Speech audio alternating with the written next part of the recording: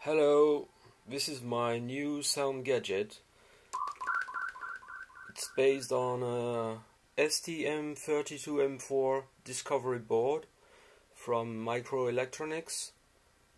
Uh, the microcontroller is very powerful. It's a Cortex M4 with uh, embedded hardware float floating point unit.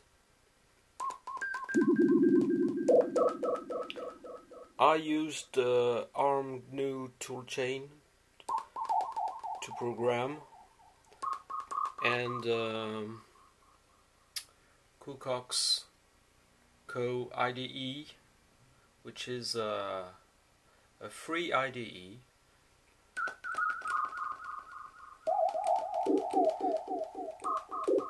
it's a very basic uh, uh, program kind of uh, siren.